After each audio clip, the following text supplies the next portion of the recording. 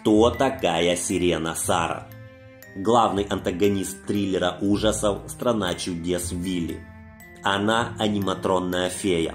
Сара когда-то была инструктором по танцам и артисткой, которая обучала нескольких девочек. Она должна была выйти замуж за своего жениха Гэри. Перед танцевальным концертом Сара поймала Гэри на измене ей с ее лучшей подругой Дебби. Убитая горем и невменяемая, она убила Гэри и Дебби и продемонстрировала их трупы перед публикой.